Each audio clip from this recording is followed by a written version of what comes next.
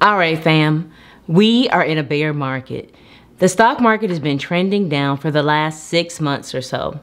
Whether the market is up or down, there are always opportunities to make money.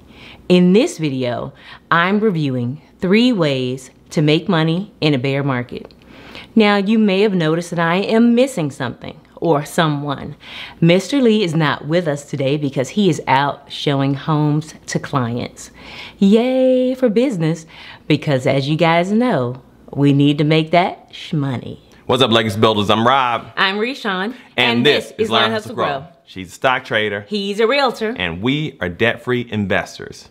If you've been following our journey, then you know that at the end of 2018, we left our W-2 jobs, and in 2019, we traveled the world. We focused on debt paydown and long-term investing to achieve financial independence. Each week, we drop a video sharing our knowledge and experience regarding money, real estate, and investing. Occasionally, we share our travel experiences. I have a ton of awesome information to share, but we need to get down to business first. I need you guys to give this video a thumbs up, make sure you share it, and try to watch it all the way through. The YouTube algorithm is measuring us on whether or not you guys engage, so feel free to drop a comment below. We might think it's great content, but if you don't interact, then YouTube doesn't agree and it won't promote this video to others. So we appreciate your support. Please give us a like, thumbs up, and subscribe. March of 2020 marked the end of the longest running bull market in stock market history. Now, 2008 to 2020 was not without its hiccups. But those who chose to invest consistently during that period of time have experienced some major life changes. For us, we invested our incomes in both stock market and real estate, and that led to us being able to pay off our mortgage, fund our retirement accounts, fund a 529, and eventually leave our corporate jobs. We all understand that what goes up must come down. The last market was doing so well that people began to wonder if it would ever come down. Of course, analysts had been forecasting a crash for years. So we understand that a bull market is when the stock market is doing great, consistently rising. Now, let's talk about a bear market. What's a bear market? A bear market is defined as a drop of 20% or more from the market peak.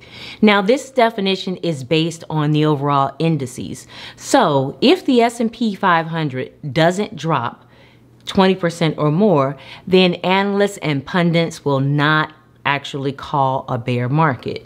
However, we've seen 60% or more of the stocks on the market drop 20 at least 20% in the last 6 months. What do you guys think? Are we in a bear market? Yes or no? Drop a comment. Even those who haven't declared the last six months of decline a bear market have started to wonder whether or not the last few weeks of turnaround are the end of a quote unquote bear market. The S&P 500 at the time of this recording has returned about 16% year over year. So, if you are an index fund investor who's consistently invested over a period of time, your overall portfolio may still be green. Winning. Bear markets create fear. Fear creates opportunity. What investments have you made in 2022? Share with the community. When markets drop, they drop fast. I mean, we've all seen it happen. It's like, whoa. If you're following the market, you've not only heard the term bear market, you've also heard the term market correction. So, what is a market correction? A market correction is a drop in price that ranges between 10 and 20%. These are normal occurrences in the market. Nothing to be afraid of, they happen frequently. However, they last only about a few weeks to a few months. I know what you're wondering. What's the difference between a bear market and a correction? Well, it's the time frame. Historically, bear markets have averaged anywhere from 14 to 16 months. So we won't see an official declaration until we've hit that time frame. Here's what you need to know. Markets go up more than they go down. If you exit the market, you risk missing some of the best performing days. When that happens, it has a significant impact on the overall growth of your portfolio. Never stop investing for your retirement. Rob and I are never out of the market. We've shared before that we modified the Dave Ramsey baby steps to continue investing while we were paying off our debt. Having met and married in our 30s, we understood that time was not on our side. A bear market is usually seen as a negative. Look, we get it. When we go long on a position, meaning that we buy it and plan to hold it, we want the market to go up. That's human nature. At the same time, that fear, which drives the volatility, creates an opportunity. It's up to us to take advantage of that opportunity. How many of us are wishing that we were in a position to invest even more during that drop in March of 2020?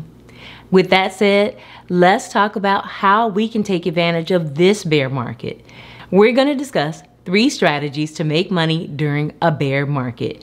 But before we do that, I have a disclaimer. I am not a financial advisor. I am not giving investing advice.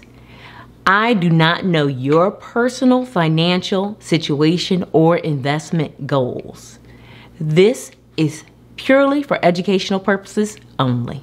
If you're new to this channel, I am an actual student in the Invest with Teri VIP Trade and Travel course. I enrolled in the course in January of 2020, and I am grateful for the lifetime membership. I feel as though I will always be learning when it comes to trading. Now, if you are a student in the course, or if you're a trade cousin following our journey, then you know you need access to the VIP curriculum in order to learn bear market trading strategies. The first strategy is short selling. You are going to sell shares on margin in anticipation of buying them back at a lower price in order to make a profit. That's right, it's actually the opposite of buying low and selling high. You are going to sell high using borrowed funds and then buy them back at a lower price. I've always been curious about why the broker allows you to borrow rather than require you to use your own money. However, that's part of the process. You borrow the money, you have to have a margin account in order to short, and it can help you win big, but it can also lead to losing big. If you miss uh, a short and you do not have a stop loss in place, you can blow up your account. The next strategy is options trading. As an options trader, when the market is down or going down, you can either sell a call or buy a put. Both of those are options to execute when the market is trending down. Buying a put or selling a call means that you believe that the market is going to continue to trend down. Again, it's a situation where you're taking on more risk because you own a contract for a hundred shares of that position that gives you the option to execute in one direction or the other. You can and should use a stop loss when trading options as well. Whether or not you decide to execute either of these strategies, the first thing you want to do is get some education. You don't want to take on additional risk in your portfolio without educating yourselves properly. I will drop a link to the trade and travel course in the description below. Feel free to investigate and research other options as well. Other course options, that is. I know I'm using the word option a lot, but you get it, right? The third strategy is to build a long-term portfolio you have the opportunity to invest gradually. Last year, I implemented a trading strategy where I purchased 20 to 25 shares at a time in order to help mitigate my risk. If you have a lump sum of cash to invest, you can invest it 25 to 30% at a time. If you don't have a lump sum amount to invest, first start by getting your 401k match. There's absolutely no reason to miss out on free money. Once you've achieved that, start saving an amount of your paycheck on a consistent basis in order to invest those funds in a brokerage account. Start buying stocks consistently and frequently. Either way, this will lead to dollar cost averaging. We have seen the future, and the future is technology.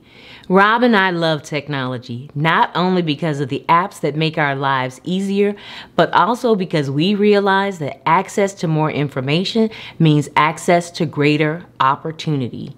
Even if it's not your jam, don't label yourself technology illiterate. We catch on when we want to. We've somehow figured it out when it comes to being entertained or using apps to get money, like Cash App or Zelle. Embrace technology when it's being implemented in your industry. Those employees who catch on to the technology advancement advancements that change the business will be invaluable. Every industry is making efforts to increase productivity and efficiency through the use of technology. We've seen the impact of social media on the as far as the ability to create and grow businesses. For those reasons, we are heavily investing in technology. Yes, we are absolutely holding cash positions to invest in both Amazon and Google after those stocks split. Are you investing in those companies? Comment below. This is a great time to invest. Start by creating a watch list of companies that are currently trading at or below $100 per share. The lower price point gives you an opportunity to buy more shares should you decide to do so. The following is a list of long-term ideas. Individual stocks, symbols, PFE, FIS, KR, CVS, HPE, IRM, CXOM, INTC, PHM. Index funds. These are sector ETFs. XLF, XLE, TECL, FINX, IXN, XLP, 1Q, ONEQ, Future Opportunity ETFs. BKCH, METV, BTCR. Do your research. Use sites like CNBC, Yahoo Finance, and Google Finance to gather the information you need to make an educated decision. Do not invest in anything based solely on having heard the name of a stock or a company on a YouTube show or podcast. Tell us what you think about these ideas in the comments below. What is your long-term strategy? See you in the next video.